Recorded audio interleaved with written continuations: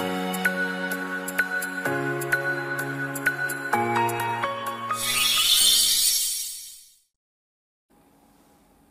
い、こんにちは、レトスノーです。今回なんですけれども、不法原因給付について解説いたします。不法原因給付っていうのは、例えば愛人契約を結んでお金を渡すだったりとか、殺人を依頼してお金を渡すとか、まあそういった内容なんですね。愛人契約を結んだりとか、また殺人を依頼する、まあ殺人についての委任契約を結ぶ、こういったものっていうのは公序良俗に違反しますよね。まあ、いわゆる反社会的な内容だということです。反社会的な内容、それを原因として何かしら物を与えた、反社会的な契約をして何か、えー物だったりとかお金だったりを渡した。これが不法原因給付。不法な原因のために給付するといった内容なんですね。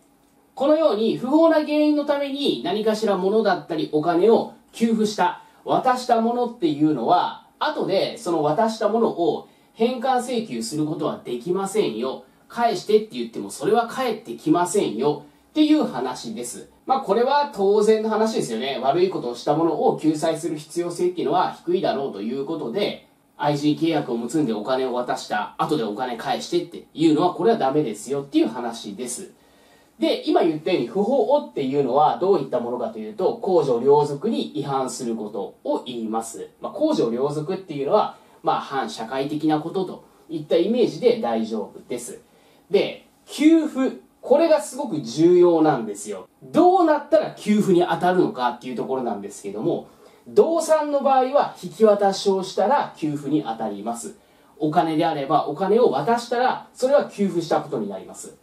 で、未登記の不動産例えば A さんが B さんに対して愛人になってくれたら建物を贈与しますよと言って愛人契約を結んで未登記登記がされていない建物を引き渡したというのであればこの場合はもう給付に当たりますで一方でこの不動産がもうすでに登記されている不動産だった場合この場合は引き渡しただけではまだ給付には当たらないんですね。登記をすることつまり引き渡してかつ移転登記をすることによってこれは給付したということになります。つまりすでに登記されている不動産を引き渡しただけでは給付したことにならないのでまだ移転登記をしていないというのであればここには該当してこないんですね。給付していないから。なのでその場合は返還請求できますよっていう話です。でここで物を給付した人を給付者物だったり不動産をもらった方これが受益者という言い方をします。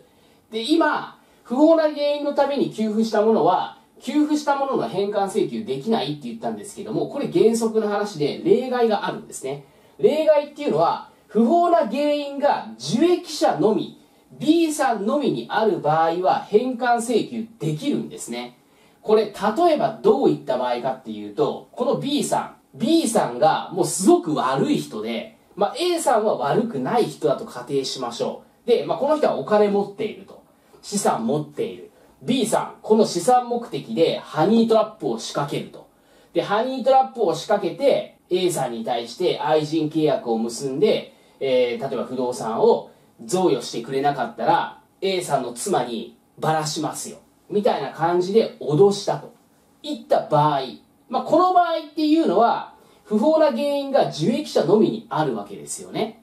まあ、今回は A さんはま全く悪くなかったと仮定します。こういった場合っていうのはもう不法原因っていうのが B さんのみ、受益者のみにあるので、こういった場合はこの建物を引き渡して、例えば登記まで済ましていたとしても、返還請求はできますよってことですね。悪いことをしていない A さんは保護されるべきだと、ま、いう話です。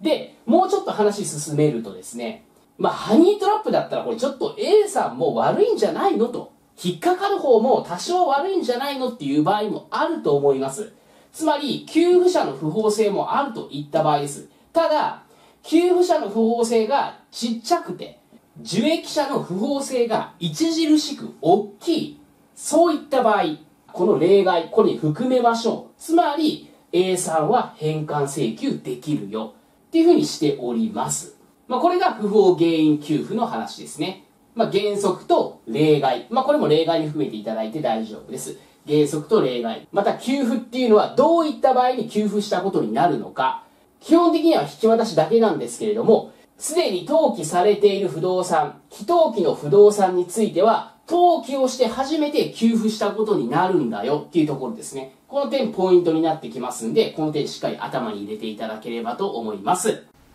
そして最後に、弊社レトスは現在短期集中実用カップ講座を開講しております。これまで勉強してきたけども実力がつかない。どうやって勉強したらいいのかがわからない。試験日までの計画が立てられない。わからない部分について質問がしたい。忙しくて時間がないけど今年絶対合格したい。